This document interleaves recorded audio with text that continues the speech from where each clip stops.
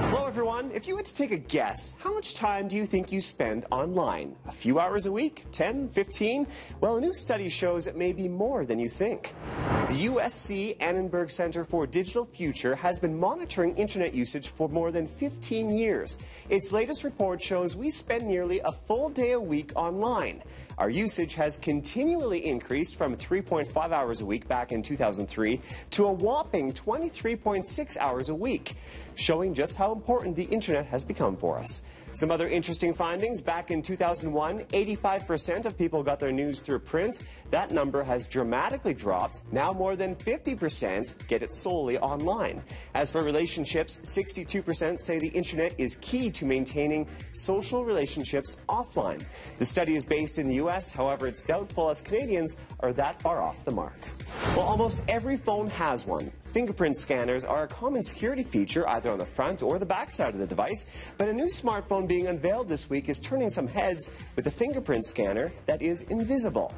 Vivo has unveiled the world's first phone with an in-screen fingerprint scanner. This is the Vivo X20 Plus UD. The sensor is embedded right in the glass. You can't see it. When you want to unlock the phone, you just have to tap a target on the screen.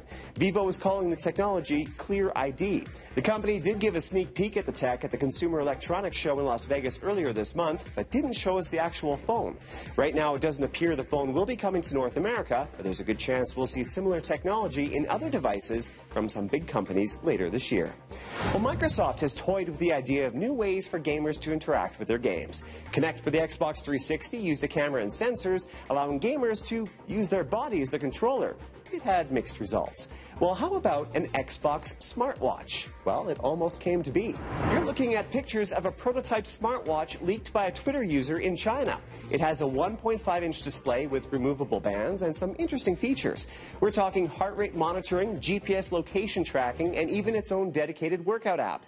But the device never saw the light of day. It was canceled along with all of Microsoft's other smart bands. In fact, these leaked images are probably the first and last time we'll ever lay eyes on the so-called Xbox Watch. No word on how the Twitter user got their hands on the device.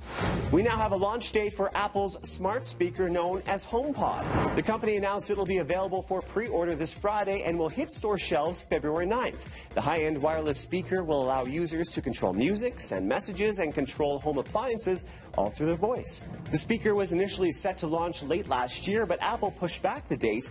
Unfortunately, HomePod will only be launching in the US, the and Australia initially. No date has been set for a Canadian release. And with that, your download's now complete.